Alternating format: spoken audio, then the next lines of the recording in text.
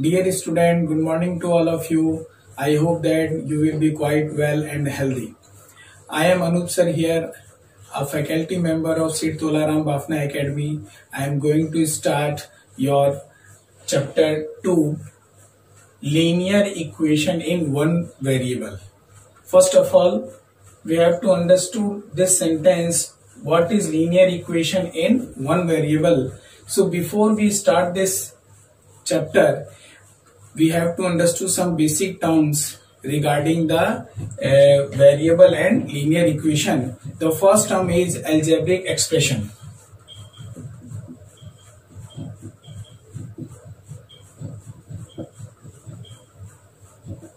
What is algebraic expression? A combination of combination of variable variables means small alphabet.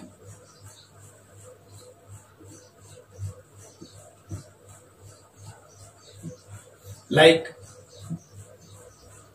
x y z etc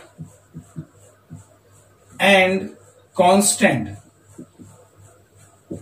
That means numerical or digit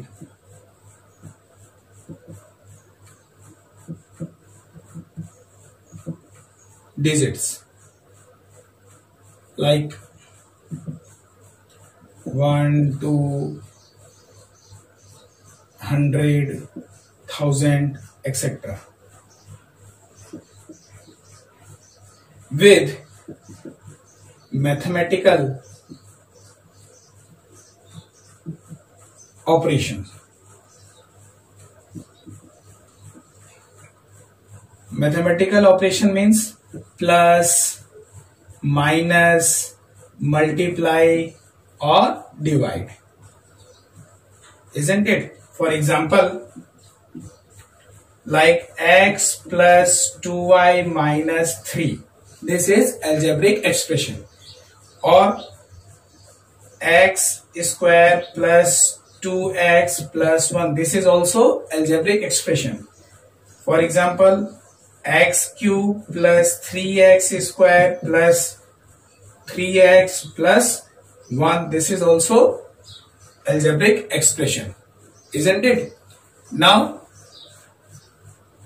in this term the x and y are the variables. Like here x is a variable. Here x is a variable. In this form we can say that there are two variables. In this form, here is only one variable x. In this form, here is only one variable. So this is one variable and this is in two variable. So our chapter is linear equation in one variable means to say a equation an equation of one variable only and that is linear isn't it linear equation in one variable means to say that an equation having degree 1 degree 1 is called linear. An equation having degree 1 is called linear. In one variable means to say there is only one variable.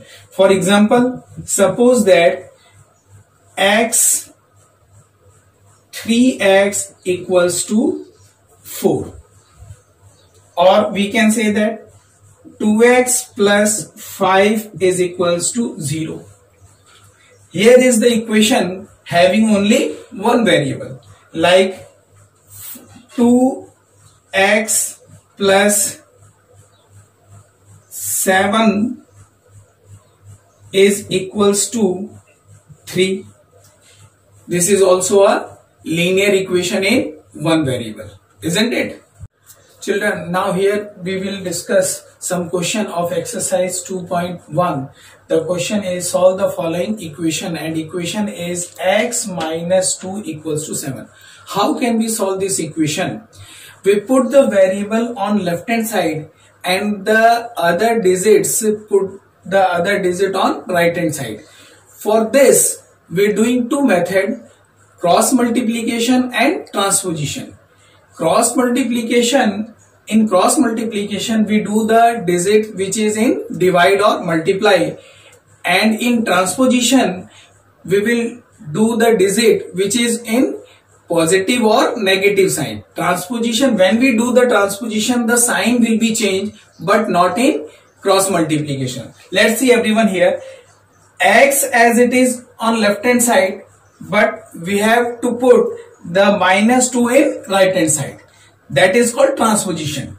7 as it is and minus 2 goes in right hand side. So when we uh, do the transposition, the sign will be changed. So negative sign change in positive sign. So minus 2 when uh, minus 2 goes in right hand side that is plus 2. This is called transposition. So we write that by transposition. Transposition. Isn't it? Now the value of x is 7 plus 2 is 9. This is the value of x. How can we verify that our value is correct? So for verification,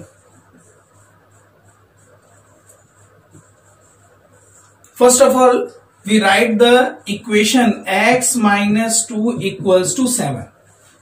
Now, we will put the value of x in this equation here is the x value that is 9. Isn't it? 9 minus 2 equals to 7. Minus 2 as it is, 7 as it is and we will put the value of x here so 9 minus 2 is 7. This is also 7. So we can say that left hand side is equals to right hand side. Means to say the value of x equals to 9 is the correct value for this equation. Isn't it? Children, here is another question of this exercise question number 4 that is 3 upon 7 plus x is equals to 17 upon 7 and we have to find the value of x in this equation. So how can we solve this? Children, first of all, we have to put the x as it is on left hand side and by using transposition, we will put this 3 by 7 on right hand side. So this 3 by 7 having the positive sign because here is not a sign so this is a positive. So when we will do the transposition the sign will be changed. So positive goes to negative. So uh, minus 3 by 7 this plus 3 by 7 is equal, uh, is uh, when we uh, go in right hand side uh, that is a negative.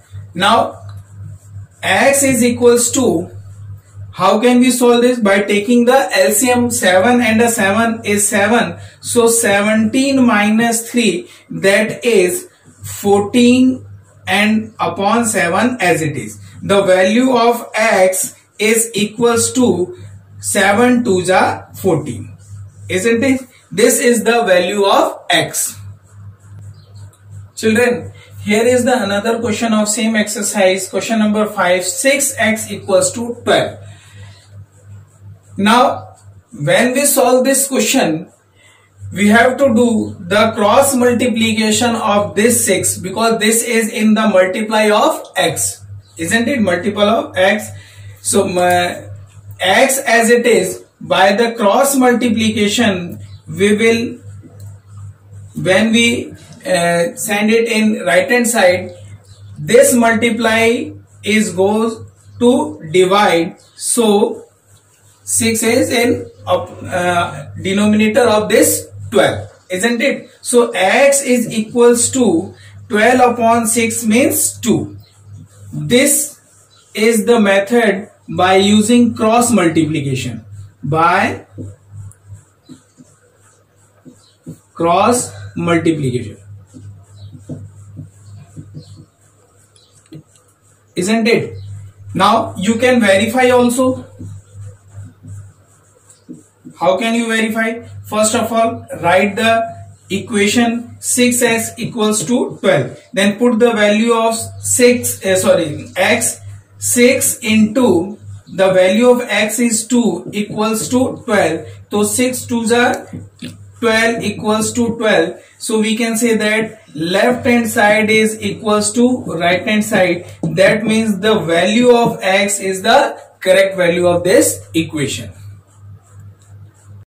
Now children, here is another question of same exercise 2.1. The question number 7 is 2x upon 3 equals to 18. How can we solve this equation? By the method of cross multiplication. So 2x as it is equals to 18 as it is and 3 goes in multiplication by cross multiplication method. So 18 into 3 this is by cross multiplication method.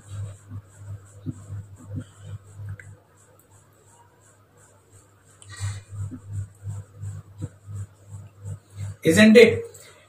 Now, when we find the value of x, we remove the 2 from here and this is in multiply with the x. So this is goes in divide. So the value of x is equals to 18 into 3 upon 2 by same cross multiplication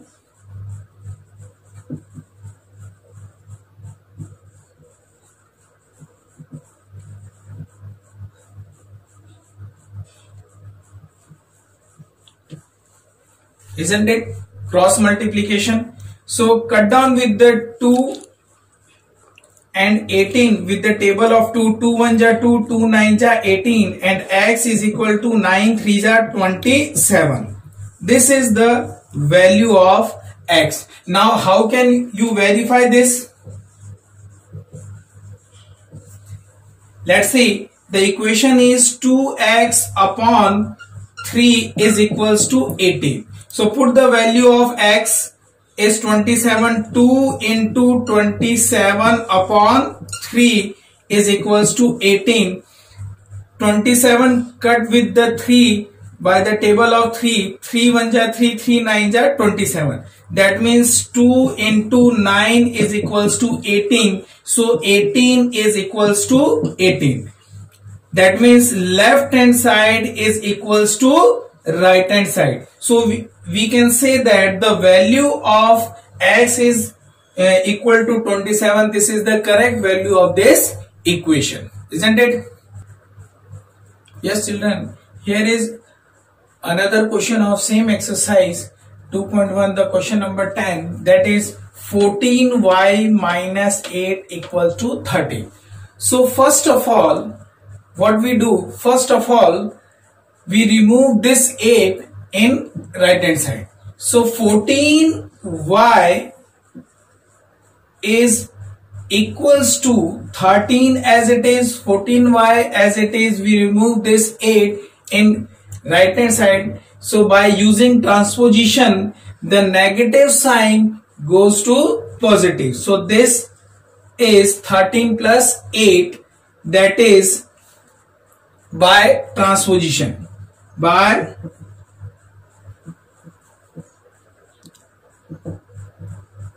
transposition isn't it?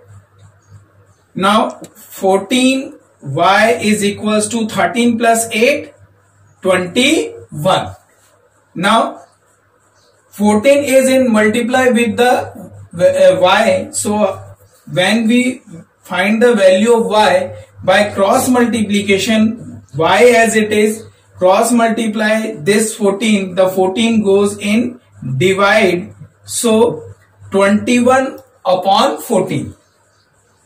We have to cut the 21 and 14 by the table of 7. So 7 2 ja 14, 7 3 ja 21. The value of y is equals to 3 upon 2. Isn't it? Now, how can you verify this? Let's see here children. The question is 14y minus 8 equals to 13. So 14 as it is into put the value of y here. The value of y is 3 upon 2 minus 8 equals to 13.